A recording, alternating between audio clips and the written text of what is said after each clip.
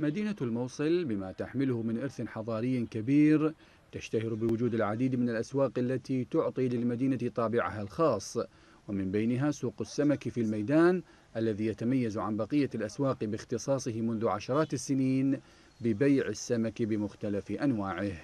أنواع السمك هي هسه حاليا عندنا الشبوط البيز أرقى أنواع السمك. يعني العالم تفضلوا تاخذوا هبر صافي وقلي يأكلوه. واكو كيلوين كيلوين ونص يسووه شوي كيف اللي يريد. يعني اكو بيز 40 50 كيلو 60 وعندنا السمتي حاليا يعني ماشي بالسوق. الكيلو ماله ب 9000 حي بالماء يسبح. وعندنا الجري 2000 ونص 2000 1000 ونص. السمك حيجينا هسه حاليا. مثلا هذا ال silver مال أحواض السمتي مال أحواض. ازيدوا السمك مال أحواض الجري من بغداد والجنوب إيه. وسمكنا عندنا عندنا سمك مال موصل بس قليل. ويقول أهالي الموصل إن سوق الميدان في الجانب الأيمن تأثر بالأحداث العاصفة التي مرت بها المدينة وبالجفاف الذي تسبب بانقراض العديد من الأنواع الجيدة ما دفع باعة السمك إلى جلب أنواع أخرى من خارج محافظة نينوى. السماكة أكثر من الميدان. والميدان تهجرت.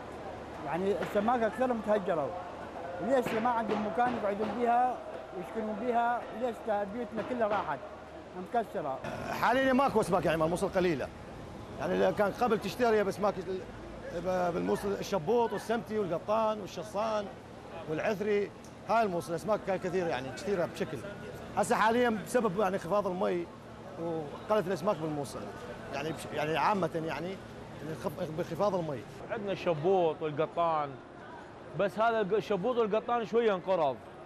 أه سببها قله المياه عندنا.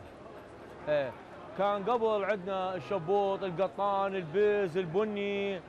هاي النواع من الدنبق ما دنبق أبو إسماعيل الزولي ابو خريزة. هسه كلها تقريبا انقرضت. سوق الميدان واحد من أسواق الموصل التي تميز هويتها بما تملكه من طابع ثري وقيمة اقتصادية وتجارية فضلا عن رمزيتها التاريخية التي أعطت للموصل شهرتها وأكسبتها تفردا رغم ما مرت به من محن وأزمات.